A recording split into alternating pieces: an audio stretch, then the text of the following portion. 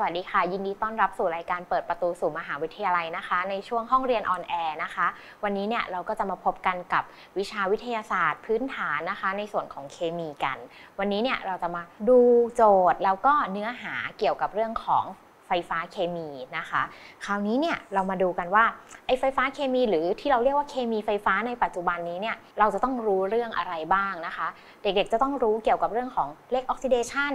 นะคะ แต่ก่อนจะรู้เรื่องเลขออกซิเดชันเด็กๆก็ต้องรู้หมู่ รู้คาบนะคะ รู้ในเรื่องของกฎ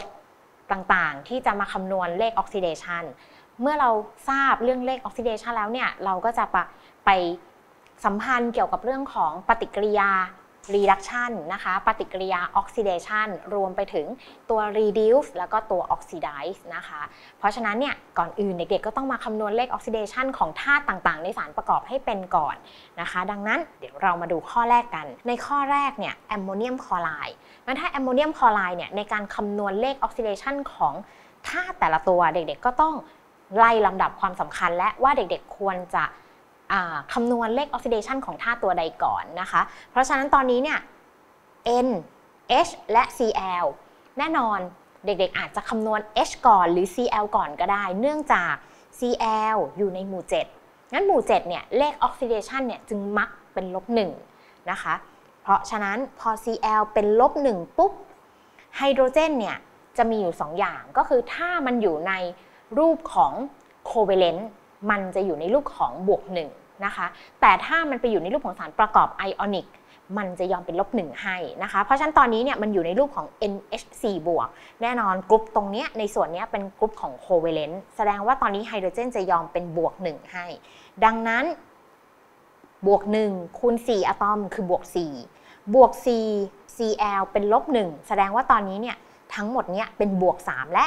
ราะฉะนั้นถ้าบวก 3 ไนโตรเจนควรต้องเป็นลบ 3 แน่นอน เพราะผลรวมของเลขออกซิเดชันจะเท่ากับ0นะคะ จะเท่ากับ 0 เพราะฉะนั้นตอนนี้เขาถามเลขออกซิเดชันของไนโตรเจนก็คือลบ3นะคะ ในขณะที่ไฮโดรเจนเป็นบวก 1 และคลอรีนเป็นลบ 1 เด็กๆจะเห็นว่าตอนนี้ ครูเขียนแค่บวก 1 เท่านั้นไม่เขียนบวก 4 เนื่องจากเลขออกซิเดชันจะเป็นการเขียนค่าแสดงประจุทางไฟฟ้าของธาตุชนิดนั้นๆ เพียงอะตอมเดียวเท่านั้นนะคะ เพราะฉะนั้นถ้าเด็กๆจะคูณ ให้เด็กๆคูณไว้ในใจหรือทดไว้ข้างๆนะคะ แต่สำหรับไฮโดรเจนจะต้องเป็นแค่บวก 1 ไม่ใช่บวก 4 นะคะ ต่อไปไปดูข้อ 2 ในข้อ 2 ออกซิเจนอยู่หมู่ 6 มักเป็นลบ 2 ไฮโดรเจน เป็นบวก1นะคะ เพราะฉะนั้นตอนนี้บวก1คูณ2 ได้บวก 2 ในขณะที่ออกซิเจน มี 4 อะตอม ลบ 2 เป็นลบ 8 เพราะฉะนั้นลบ 8 ครูลองทดให้ดูก่อนนะคะ ลบ 8 ตอนนี้บวก 2 เพราะฉะนั้นครูยังขาดอีกบวก 6 ถึงจะกลายเป็น 0 ได้ แต่อย่าลืมว่าคาร์บอนมีห้อย 2 อยู่ตรงนี้ แสดงว่าคาร์บอนจะเป็นเพียงบวก 3 เท่านั้นนะคะ เพราะฉะนั้นมันก็คือการบวกด้วย 3 คูณ 2 นั่นเอง เพราะฉะนั้นก็จะมีค่าผลรวมเท่ากับ 0 ในทั้งหมดนะคะ เพราะฉะนั้นตอนนี้ไฮโดรเจนก็จะเป็นบวก 1 คาร์บอนก็จะเป็นบวก 3 และออกซิเจนก็จะเป็นลบ 2 นะคะ เพราะฉะนั้นตอนนี้เนี่ยเราจะเห็นว่าครูเขียนเลขออกซิเดชันเอาตัวเลขไว้ด้านหลัง เอา เครื่องหมายไว้ด้านหน้า และบวกก็ต้องเขียน ลบก็ต้องเขียนนะคะ ต่อไป Na ฟิกแน่นอนอยู่หมู่หนึ่งนะคะ Na เป็นบวกหนึ่งออกซิเจนเหมือนเดิมมักเป็นลบสองนะคะ เพราะฉะนั้นลบสองคูณสามได้ลบหกลบหกโซเดียมเป็นบวกหนึ่งคูณสองได้บวกสอง เพราะฉะนั้นแน่นอน Sn จะต้องเป็นลบอาจจะต้องเป็นบวก 4 แน่ๆนะคะ ถึงรวมกันได้ 0 เพราะฉะนั้นตอนนี้ Na ก็จะเป็นบวก 1 Sn เป็นบวก 4 และ O เป็นลบ 2 นะคะ ต่อไปตอนนี้มาดู N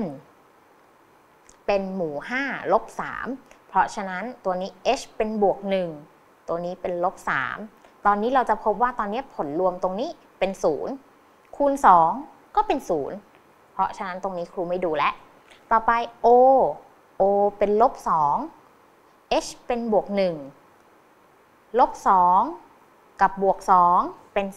0เพราะฉะนั้นครูไม่ดูแล้วจะห้อยเท่าไหร่ก็ตามทั้งหมดนี้แอมโมเนียและน้ำเป็นศูนย์เสมอ แสดงว่าตอนนี้ซิงค์ก็จะติดประจุบวก 2 โดยปริยายนะคะ ดังนั้นเราก็จะได้ครบทุกตัวและ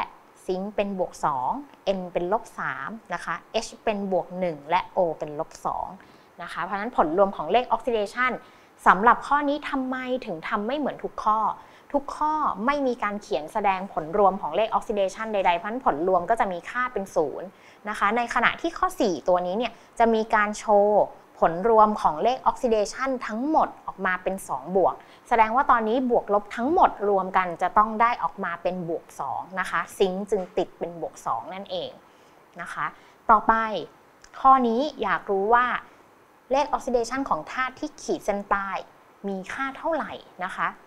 เพราะฉะนั้นมาดูข้อที่ 1 ข้อที่1เนี่ยทั้งหมดนี้ CO3 แต่ทั้งหมดติด 2 ลบ นะคะ แสดงว่าเราจะต้องบวกลบเลขออกซิเดชันทั้งหมดเนี่ยให้ได้ค่าผลรวมออกมาเท่ากับลบ2นะคะ เพราะฉะนั้นออกซิเจนอยู่หมู่ 6 หมู่ 6 เป็นลบ2ลบ2คูณ 3 อะตอมคือลบ 6 แสดงว่าคาร์บอนจะต้องเป็นบวก4นะคะ เพราะฉะนั้นลบ6บวก4ทั้งหมดก็จะติดลบ2นั่นเอง เพราะฉะนั้นคาร์บอนตอนนี้เป็นบวก4ต่อไป OF2 ณตอนนี้ทำไมเราถึงไม่เลือกทำ O ก่อน เนื่องจากฟลูออรีนเป็นธาตุที่เลขออกซิเดชัน fix เป็นลบ1เสมอ เพราะฉะนั้นถ้าฟลูออรีนเป็นลบ1เสมอคูณ 2 เป็นลบ2ไม่มีการโชว์เลขออกซิเดชันผลรวมใดๆ แสดงว่าผลรวมต้องเท่ากับ0แสดงว่าตอนนี้ออกซิเจนยอมเป็นบวก 2 ให้ เพราะฉะนั้นครูถึงพูดคำว่าออกซิเจนมักเป็นลบ2ไม่ใช่ออกซิเจนเป็นลบ2เสมอนะคะ ดังนั้น ตัวที่เสมอคือฟลูออรีน เป็นลบ1เสมอออกซิเจน เป็นแค่มักจะเป็นลบ2ดังนั้นถ้าไปเจอกับธาตุที่มีเลขออกซิเดชันนะคะเป็นตัวที่ fix ออกซิเจนก็จะยอมเปลี่ยนให้นะคะ เพราะฉะนั้นตอนนี้ออกซิเจนก็จะเป็นบวก 2 ต่อไปตัวนี้เช่นกันค่ะไฮโดรเจนตัวนี้เนี่ยอยู่ในโมเลกุลของโคเวเลนต์เพราะฉะนั้นถ้าอยู่ในโมเลกุลของโคเวเลนต์ไฮโดรเจนก็จะยอมเป็นบวก 1 ให้ ดังนั้นถ้าไฮโดรเจนเป็นบวก 1 คูณ 2 กลายเป็นบวก 2 ดังนั้นตัวนี้ต้องเป็นลบ 2 ถูกไหมคะ แต่อย่าลืมมี 2 อะตอม เพราะฉะนั้น O จะยอมเป็นลบ 1 ให้เท่านั้นนะคะ ต่อไป CH3 OH เหมือนเดิม O เป็นลบ 2 H เป็นบวก 1 H เป็นบวก 1 แสดงว่าตอนนี้ครูมีไฮโดรเจนทั้งหมด 4 อะตอม บวก 1 คูณ 4 ได้บวก 4 บวก 4 ตรงนี้ไปแล้วลบ 2 เพราะฉะนั้นคาร์บอนตัวนี้จะเป็นเพียงลบ 2 เท่านั้น ผลรวมถึงจะได้ 0 นะคะ เพราะฉะนั้นก็จะเป็นลบ 2 ต่อไปตัวนี้ S ห้อย 8 เราจะเห็นว่าตัวนี้มีธาตุแค่ชนิดเดียว เราจะเรียกตัวนี้ว่าธาตุอิสระ เพราะฉะนั้นถ้าเป็นธาตุอิสระเลขออกซิเดชันจะมีค่าเป็นศูนย์เสมอค่ะ ไม่ว่าจะห้อยใด ๆ ก็ตาม เนื่องจากมันมีธาตุแค่ชนิดเดียวเพราะถ้ามีธาตุแค่ชนิดเดียวเนี่ยไม่ต้องคำนวณใด ๆ เลยเป็นศูนย์โดยอัตโนมัติ ยกเว้นถ้าเขาให้มาในรูปของอย่างเช่น Na บวกแบบนี้อยู่ในรูปไอออนที่เขาแสดงมาให้เลย Fe 2 บวกก็จะมีเลขออกซิเดชันตามที่แสดงไว้เลย เพราะฉะนั้น Na บวกก็จะมีเลขออกซิเดชันเป็นบวก1 Fe 2 บวกก็จะมีเลขออกซิเดชันเป็นบวก 2 นั่นเองนะคะ ต่อไปข้อนี้เราพอเรารู้เกี่ยวกับเรื่องของเลขออกซิเดชันและว่าคำนวณอย่างไรบ้างนะคะ เราก็จะมาสัมพันธ์กันเกี่ยวกับเรื่องของปฏิกิริยา redox นะคะ เพราะฉะนั้นปฏิกิริยา redox เนี่ยจะเป็นปฏิกิริยาที่ประกอบไปด้วยครึ่งปฏิกิริยา 2 ครึ่งปฏิกิริยา ครึ่งปฏิกิริยาแรกเนี่ยเราเรียกว่าครึ่งปฏิกิริยาออกซิเดชัน นะคะ เพราะฉะนั้นครึ่งปฏิกิริยาออกซิเดชันแปลว่าอะไร ครึ่งปฏิกิริยาออกซิเดชันก็จะเป็นปฏิกิริยาที่แสดงการจ่ายอิเล็กตรอนค่ะ แสดงการจ่ายอิเล็กตรอนของสารสารใดแล้วทำให้เลขออกซิเดชันของสารนั้นเนี่ยมีค่าเพิ่มขึ้น เพราะฉะนั้นยกตัวอย่างเช่น ตอนนี้ซิงค์ ซิงค์มีการจ่ายอิเล็กตรอนออก ในการเขียนรูปแบบของการจ่ายอิเล็กตรอนเนี่ยก็จะไปเขียนในรูปของ Product ซึ่งซิงค์ก็จะจ่ายอิเล็กตรอนทั้งหมด 2 อิเล็กตรอน พอจ่าย 2 อิเล็กตรอนปุ๊บซิงค์ก็จะติดประจุเป็น 2 บวกนะคะ เพราะฉะนั้นเราจะเห็นว่าตอนนี้ซิงค์เนี่ยกลายเป็นซิงค์2บวกบวก 2 อิเล็กตรอน zinc เป็น 2 บวกกับ E เป็น 2 ลบ 2 บวก 2 ลบรวมกันเป็น 0 เพราะฉะนั้นถ้ารวมกันเป็น 0 ปุ๊บ เราจะเห็นว่าฝั่งนี้เป็นธาตุอิสระของ zinc และเลขออกซิเดชันก็จะเป็น 0 เพราะฉะนั้นประจุทางไฟฟ้าของทั้ง 2 ฝั่งมีค่าเท่ากันนะคะ รวมไปถึงจำนวนอะตอมทั้ง 2 ฝั่งก็มีค่าเท่ากัน เพราะฉะนั้นในการเขียนปฏิกิริยาออกซิเดชันเนี่ยก็จะเป็นการเขียนการแสดงการจ่ายอิเล็กตรอน แล้วทำให้เลขออกซิเดชันจาก 0 กลายเป็นบวก 2 เพราะฉะนั้นเราจะเห็นว่าตอนนี้เลขออกซิเดชัน เพิ่มขึ้นนะคะ เพราะฉะนั้น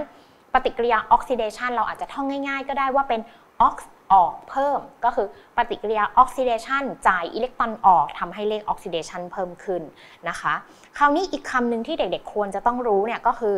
สารใดล่ะที่ทำหน้าที่จ่ายอิเล็กตรอนก็คือ zinc ถูกไหมคะถ้า zinc ทำหน้าที่จ่ายอิเล็กตรอนให้กับสารอื่นไป เราจะเรียกหน้าที่ของตัวที่จ่ายอิเล็กตรอนออกเนี่ยว่า ตัว reduce เด็กๆอาจจะงงๆว่าทำไมเป็นปฏิกิริยาออกซิเดชันแต่เราเรียกตัว reduce ล่ะ มันเป็นการสลับคำกันค่ะเด็กๆ ก็คือปฏิกิริยาออกซิเดชันแต่สารนั้นเราจะเรียกตัว reduce เพราะฉะนั้นอีกคำหนึ่งที่เรากำลังจะเรียนก็คือปฏิกิริยา reduction ตัวนั้นก็จะกลายเป็นตัว oxidize นั่นเอง เพราะฉะนั้นคำมันสลับกันเด็กๆอาจจะต้องจำนิดหนึ่งนะคะ เพราะฉะนั้นในตอนนี้เนี่ยสารใดล่ะที่จ่ายอิเล็กตรอนก็คือ ซิงค์เพราะฉะนั้นถ้าซิงค์ทำการจ่ายอิเล็กตรอน ในสมการนี้เนี่ยซิงค์ก็จะต้องทำหน้าที่เป็นตัว reduce นั่นเองนะคะเพราะฉะนั้นอันนี้ก็จะเป็นปฏิกิริยาที่เป็นออกซิเดชันนะคะ ต่อไปค่ะ เรามาดูปฏิกิริยาอีกครึ่งปฏิกิริยาหนึ่ง ครึ่งปฏิกิริยาอีกครึ่งปฏิกิริยาหนึ่งเราเรียกว่าครึ่งปฏิกิริยา reduction นะคะ ซึ่ง reduction เนี่ยเป็นสมการที่แสดงการรับอิเล็กตรอน เมื่อรับอิเล็กตรอนมาแล้วนะคะ อย่างเช่น Cu 2 บวก ตอนนี้ Cu เนี่ยติดประจุเป็น 2 บวก เมื่อรับมาทั้งหมด 2 อิเล็กตรอน 2 บวกกับ 2 ลบ แน่นอน เจ๊ากันเหลือ 0 copper ตัวนี้เลขออกซิเดชันจะเป็นศูนย์ทันที เนื่องจากเป็นธาตุอิสระ ที่ไม่มีธาตุชนิดใดแล้วก็ไม่โชว์ประจุใด ๆ เพราะฉะนั้นเราจะเห็นว่าจากบวก 2 ไป0เนี่ยทำให้เลขออกซิเดชันลดลง ดังนั้นให้เราท่องง่ายๆว่า รีรับและลด รี รับ แล้วก็ลด ความหมายก็คือ reduction รับอิเล็กตรอนมาทำให้เลขออกซิเดชันลดลงนั่นเองนะคะ และสารที่ทำหน้าที่ไปรับอิเล็กตรอนมาก็คือ copper ไอออนหรือ copper 2บวกตัวนี้แหละ ไปรับอิเล็กตรอนมา สารที่ทำหน้าที่ไปรับอิเล็กตรอนจากสารอื่นมา เราก็จะเรียกตัวนั้นว่าตัวออกซิไดซ์ นะคะ เพราะฉะนั้นในสมการนี้เนี่ยเราพบว่า copper 2บวกไปทำหน้าที่รับอิเล็กตรอนมา แล้วทำให้เลขออกซิเดชันลดลงนะคะ เราก็จะเรียก copper 2บวกนี้ว่าออกซิไดซ์นั่นเอง หรือเป็นตัวออกซิไดซ์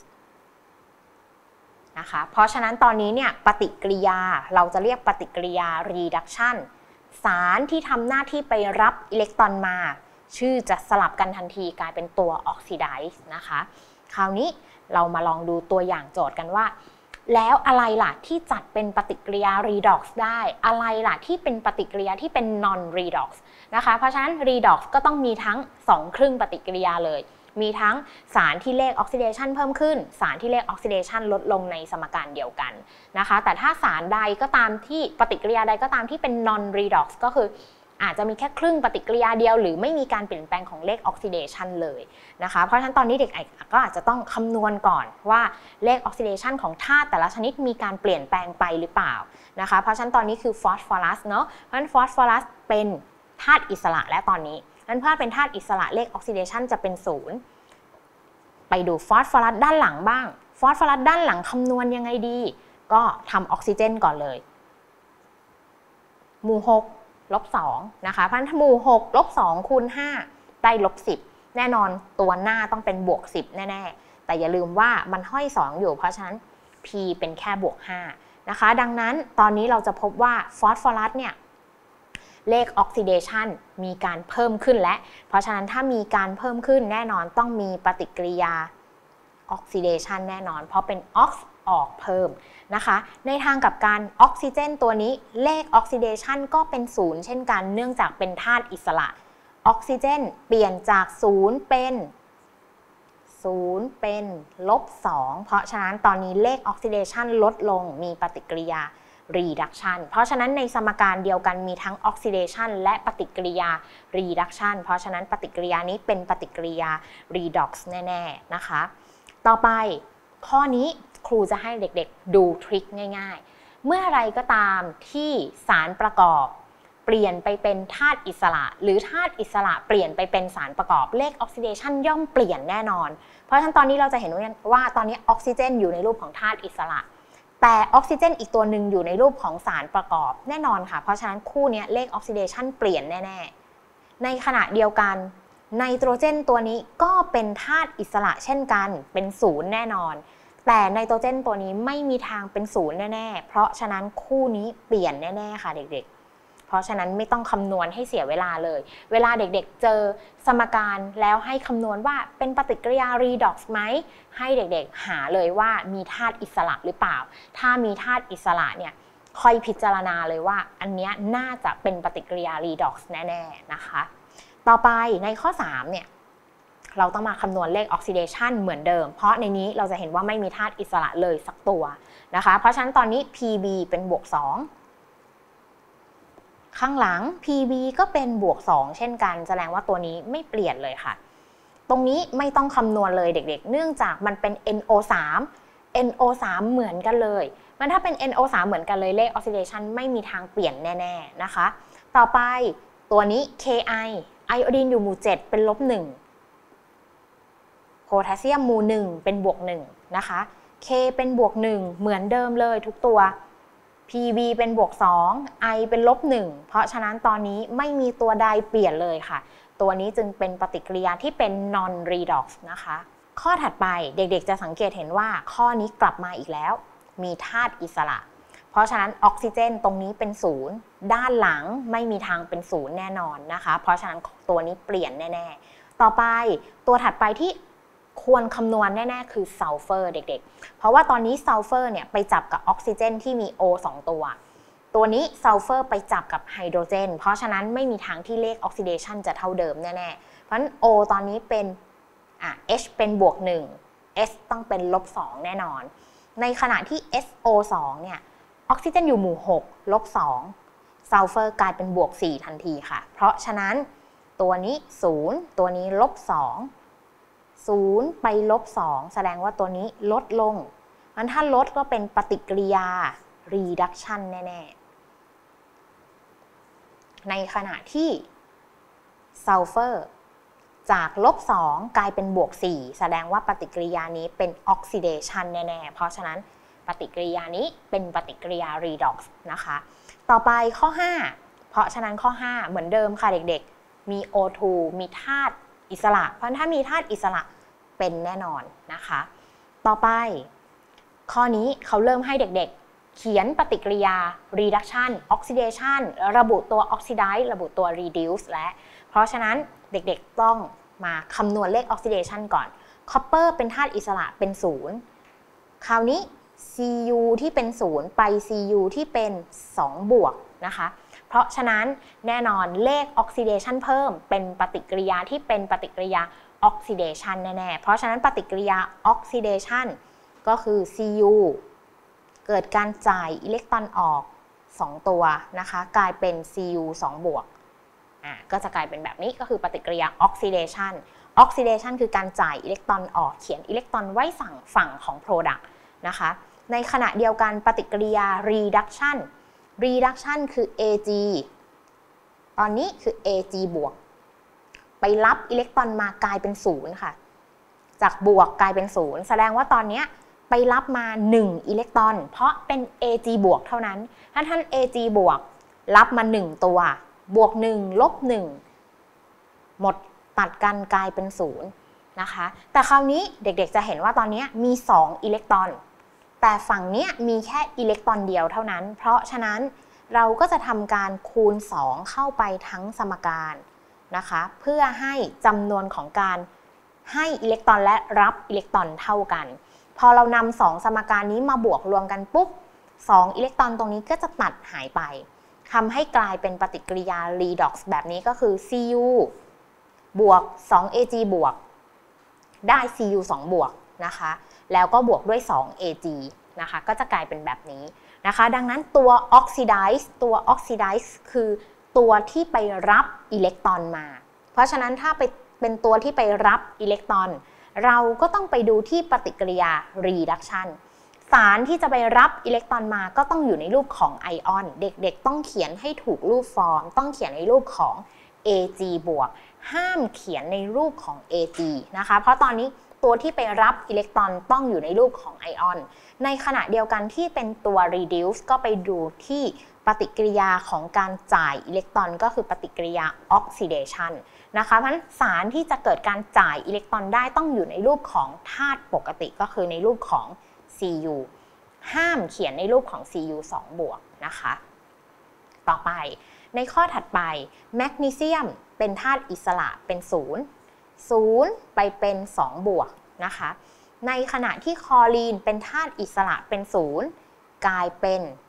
Cl ที่เป็นลบ1นะคะ เพราะฉะนั้นแน่นอนแมกนีเซียมตอนนี้เลขออกซิเดชันเพิ่มขึ้น ถ้าเลขออกซิเดชันเพิ่มขึ้นก็จะต้องเป็นปฏิกิริยาออกซิเดชันเพราะฉะนั้นก็จะกลายเป็น Mg จ่ายอิเล็กตรอน ถ้าจะกลายไปเป็น 2 บวก ก็ต้องจ่ายออก 2 อิเล็กตรอนนะคะ